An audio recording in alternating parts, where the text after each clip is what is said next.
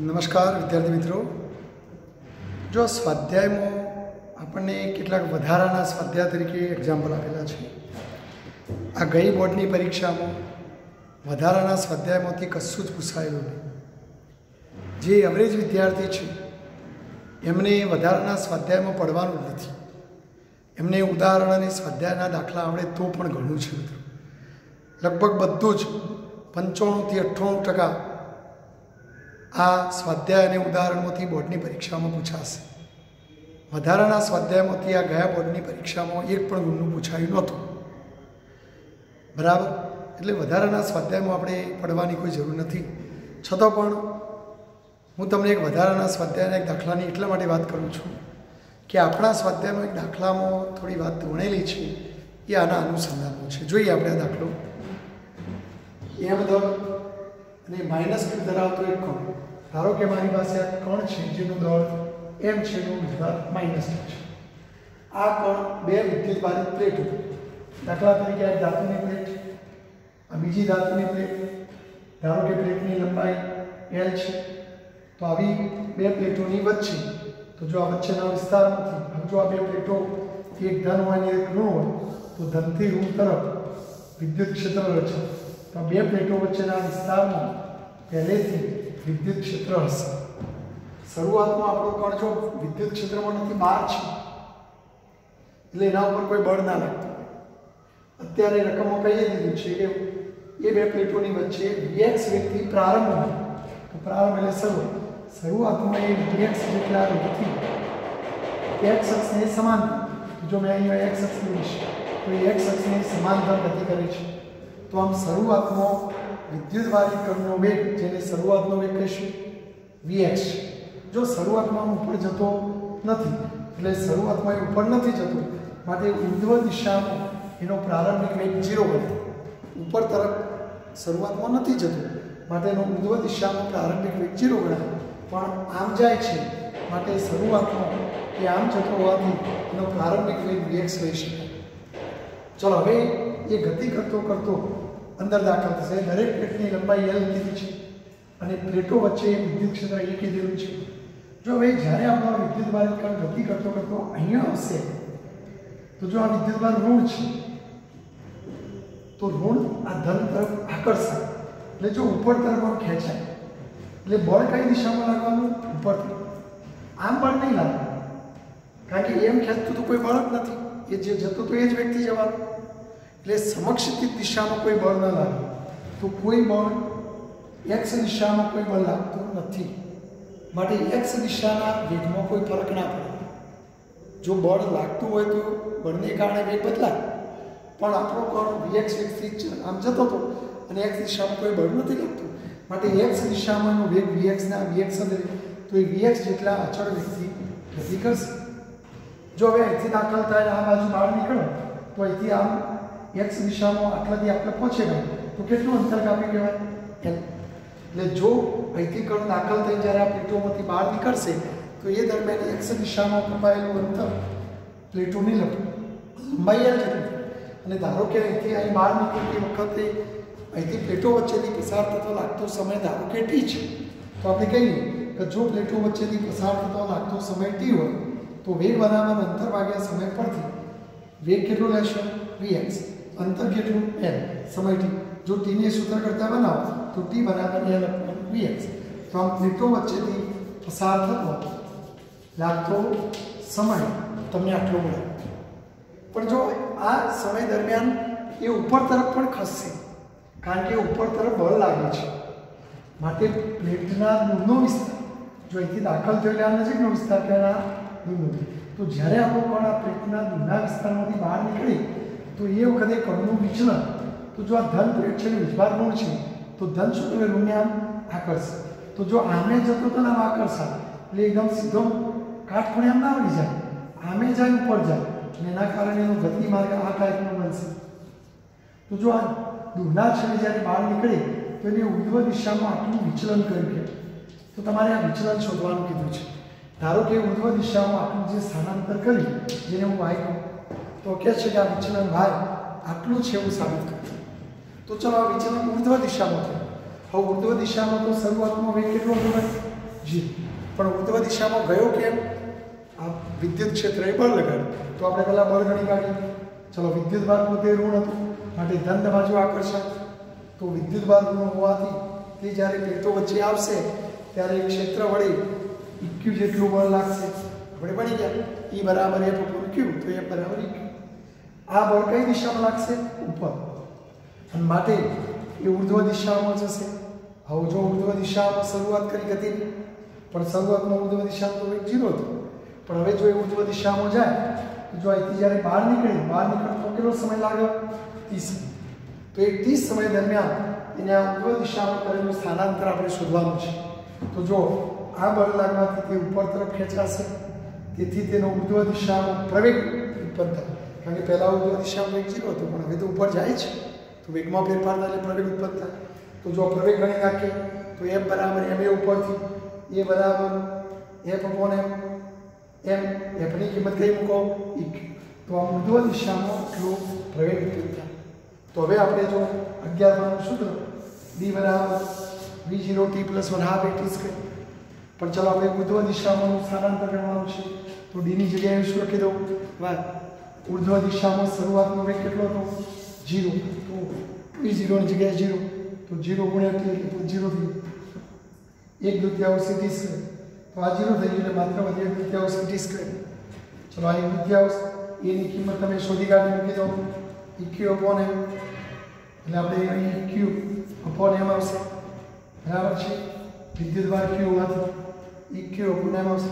અને ટીનો વર્ગ, તો ટીની જગ્યાએ એલ અપોન પીએક્સ તો upon અપોન વીએક્સનો વર્ગ સાદું ભાગો તો નો વર્ગ પીએક્સનો વર્ગ તો આપણું સૂત્ર આવશે y બરાબર Q L square upon two M V X square તો આ વિચલન તમને મળ્યું અહીં તમે જોઈ શકો છો કે ભાઈ વિદ્યુત ક્ષેત્રમાં ગતિ કરતા કણ દ્વારા થતું વિચલન વાય ચલે છે કણના વિદ્યુત ભાર ક્યુ ઉપર આવે છે કણનું દોર નીચે આવે છે એટલે ક્યુ અપોન એટલે જો ક્યુ અપોન એમનું મૂલ્ય વધુ, આ ગુણોત્તર વધુ, તો વિચલન વધુ થાય.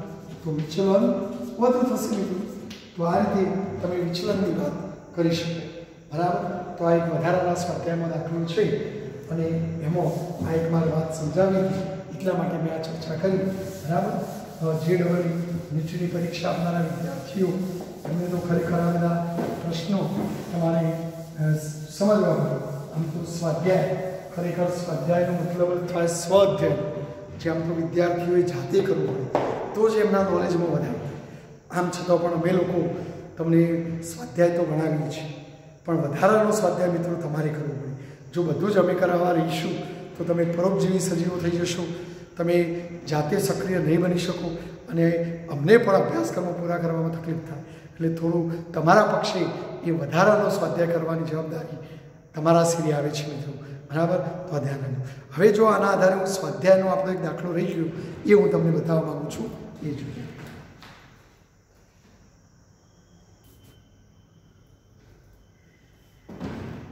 જો મિત્રો, સ્વાધ્યાયનો એક પોઈન્ટ ચૌદ નંબરનો દાખલો. આકૃતિમાં તો જો તમને એક આકૃતિ આપી છે. જેમાં તમને બે પ્લેટો બતાવી છે. આ ધન પ્લેટ અને આ ઋણ ત્રણ વિદ્યુત ભાર. દાખલા તરીકે પહેલો વિદ્યુત ભાર, બીજો અને ત્રીજો. જો પહેલો વિદ્યુત ભાર અહીંથી નીકળ્યો, બીજો અહીંથી નીકળ્યો, ત્રીજો અહીંથી નીકળ્યો. તો આ ત્રણ વિદ્યુત ભારોનો ગતિપથ તમને દર્શાવેલો છે. તો આ ત્રણેય વિદ્યુત ભારોના ચિહ્ન એટલે કે કયો વિદ્યુત ભાર ધન હશે, કયો ઋણ હશે. હવે તમે જાણો છો મિત્રો, ઋણ વીજભાર છે કઈ તરફ આગળ થાય? ધન તરફ અને ધન વીજભાર હોય ઋણ. તમે જુઓ કે આ ત્રણેયથી નીકળ્યા પણ પહેલો વીજભાર કઈ તરફ ગયો? ઉપર. ઉપર ગયો. ઉપર કઈ પ્લેટ છે? ધન. તો એ ધન પ્લેટ તરફ આકર્ષાય. અને ધન તરફ કોણ આકર્ષાય? ઋણ. માટે આપણો આ પહેલો કોણ? કેવો હશે? ઋણ હશે. તો એ ધન તરફ આકર્ષાય. જો બીજો પણ આમ જતો તો ને ઉપર તરફ ખેંચાય. તો ઉપર તરફ ખેંચાય એટલે બીજો કણ પણ કેવો હશે? ઋણ હશે. પણ જો આ ત્રીજો કણ, એ આમ ઉપર ના ગયો, એ નીચે ગયો, તો ઋણ કોને આકર્ષે ભાઈ? ધનની. માટે આ ત્રીજા કણનો વિદ્યુત ભાર ધન હશે તો તમને જો ચિહ્ન આપવાનું કીધું, તો પહેલાંનું ચિહ્ન ઋણ, બીજાનું ચિહ્ન ઋણ, ત્રીજાનું ચિહ્ન ધન. હવે આપણે હમણાં જ પેલો પ્રશ્ન તમને સમજાવ્યો સ્વાધ્યાય વધારાના સ્વાધ્યાય. કે ભાઈ, વિચલનનો આધાર વિદ્યુત અને દળના ગુણોત્તર ઉપર છે. જો આ ગુણોત્તર વધુ, તો વિચલન વાય પણ વધુ. વિચલન એટલે પોતાના મૂળ માર્ગમાંથી ચલિત થયું. જો આ કણ ખરેખર અહીંથી આમ આવતો તો આમ આવતો હતો તો એને ખરેખર આમ જવાનું હતું અને એ જતું તો એનું આ વિદ્યુત ક્ષેત્ર, જો આ વિદ્યુત ક્ષેત્રના છેડા આગળ આટલું વિચલન થયું. ચલો બીજા કણની વાત કરીએ તો જો બીજો કણ અહીંથી આવતો હતો, તો ખરેખર એને આમ જવાનું હતું. પણ આ છેડા આગળ એ આટલો ઉપર જતો તો જો પહેલાંનું વિચલન આટલું થયું, પહેલાંનું આટલું થયું. ત્રીજો કણ જો, ત્રીજો કણ અહીંથી આમ જવા માગતો હતો ખરેખર. પણ એ આટલો પછી, તો જો એનું વિચલન આટલું થયું, તો આ આટલું છે આટલું છે આટલું છે. તો જો આ વિચલન સૌથી વધુ છે. એ વધારે વિચલિત થઈ ગયું. અને જો વિચલન વધુ, તો એમના માટે ક્યુ અપોન એમનું ગુણોત્તર પણ વધુ? તો આપણને પ્રશ્ન પૂછ્યું, કયા કણ માટે વિદ્યુતભાર અને દળનો ગુણોત્તર મહત્તમ હશે? તો આ ત્રીજા નંબરના કણ માટે આ અને એમનો ગુણોત્તર મહત્તમ હશે. કેટલો સિમ્પલ દાખલો. ઓકે?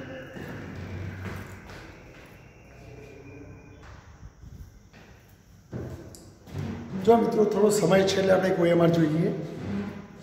કે બરાબર દસ ડાયઇલેક્ટ્રિક અચકંકવાળા માધ્યમ મૂકે.